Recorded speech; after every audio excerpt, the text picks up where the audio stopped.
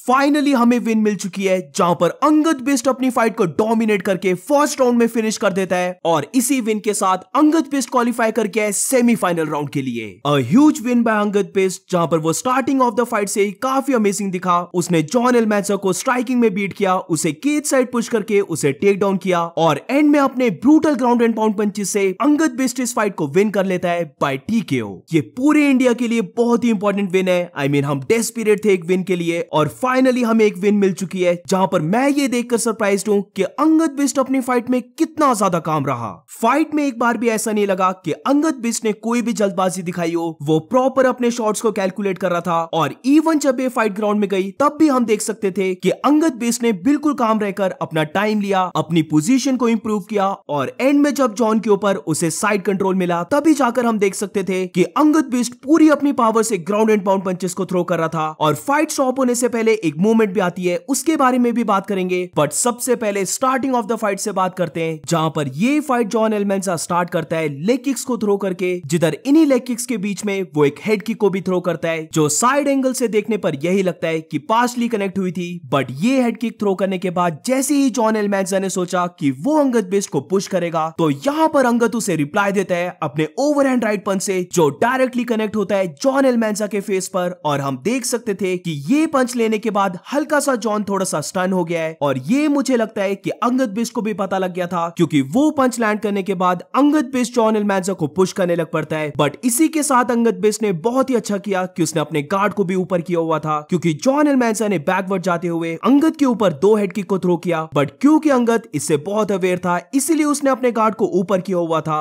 और ये दोनों किक्स को उसने ब्लॉक कर लिया। केज के साइड पुश करने के बाद अंगद बिस्ट ने जॉन एलमैंजा के ऊपर दो तीन बिग राइट पंचेस को कनेक्ट किया और फिर उसके बाद काफ़ी अच्छा टेक डाउन दिखाते हुए अंगद पेस जॉन एलमैंसा को ग्राउंड में लेके जाता है। और यहाँ पर मैं झूठ नहीं बोलूँगा, मैं थोड़ा सा स्केयर था, क्योंकि आई नो कि अंगद बेस्ट की ग्राउंड गेम काफ़ी अच्छी है बट जितने भी जॉन एलमैंसा ने फाइट्स किए हैं, उधर उसकी ग्राउंड गेम भी काफ़ी अच्छी लगी थी। और यहाँ पर भी हम देख सकते थे कि उसने कपल ऑफ़ टाइम्स ट्राई किया कि वो अंगद के ऊपर ट्राइंगल चोक लगा दे बट यहाँ पर अंगद बेस्ट की ग्राउंड गेम काफ़ी अच्छी थी, वो बिल्कुल काम रहा। और यहाँ पर अंगद बेस्ट अपने कोचेस के भी सुन रहा था, जो बहुत ही अच्छी एडवाइस दे रहे थे। और इसी ग्राउंड पोजीशन में जैसे ही अंगद बेस्ट ने अपनी राइट लेग को छुड़वा लिया, बहुत ही जल्दी अंगद यहाँ से साइड कंट्रोल में शिफ्ट कर जाता है और जैसे ही अंगद बेस्ट को ये position milli, Angad Bisht unleashed on John Almansa यहाँ से अंगद बेस्ट जॉन एलमैंसा के ऊपर big ground and pound punches को थ्रो कर रहा होता है और इसी के बीच में एक मोमेंट ऐसी आती है जहाँ पर अंगद बेस्ट अपने पंचेस को थ्रो करना बंद कर देता है, क्योंकि अंगद बेस्ट को ऐसा लगता है कि जॉन एलमैंसा नॉकआउट हो गया था और टू बी वेरी ऑनेस्ट उस एंगल से देखने पर ऐसा ही लगता है कि जॉन